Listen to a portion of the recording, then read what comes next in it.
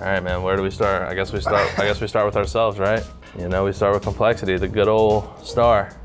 I mean, uh, It's easy to say. It's easy to say, you know, S tier, right, instantly. But you know, I'm, I'm thinking like, you know, as of late, like last night's scrims, like we're looking F tier, you know. Uh, I mean, like last night, but realistically, I think, I think like B. B tier. That's a good. Yeah, that's a good answer. Yeah. Let's jump into Cloud Nine. You know, that's an obvious one, right? S tier instantly. S tier. Haven't haven't lost a land They're the tournament best yet. in the game. Right. United, I think, in instantly based off of their performances and playing against them, A tier.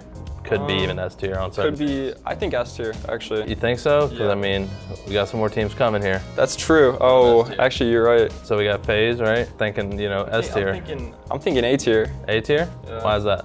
I just don't think they've developed enough yet. I think, I think they could be S tier. All right, we got Fnatic. What do you think about Fnatic here, Cody? I mean, I, I'm thinking, you know, they could be B tier with us, and then other days they could be C tier. I'd say B. B tier? That's a good answer. G2, my dog Gilkey, shouts out. I don't know. Are we talking as of lately?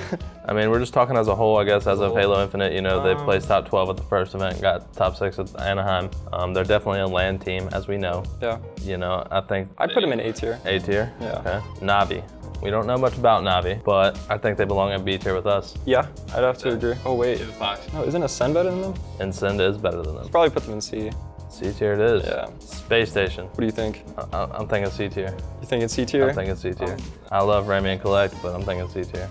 I don't know. That team has so much like potential. I'm thinking C tier right now. Yeah. All right, we got Optic Gaming, instant S tier. Instant S tier.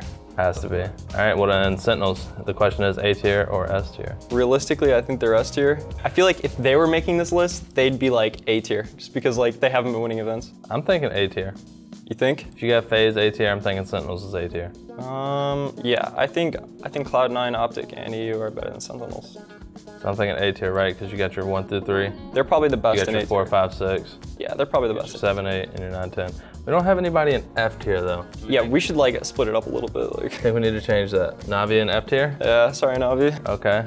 Fnatic C tier? You know, No. they're going through some roster changes think- right now. Things aren't looking good for them. The I think we switch changes Fnatic and Space Station. You think? Yeah. Yeah, you might be right on that one. That's what I'm thinking, right? We switch it like this. Yeah, yeah, for sure. I like that. This is going to be your top eight for Kansas City right here, boys. Cloud9 winning the event, Optic second, United third, FaZe fourth, Sentinels fifth, G2 sixth, Complexity seventh, Space Station eighth, Fnatic ninth, Navi tenth. Just like that. Looks pretty accurate.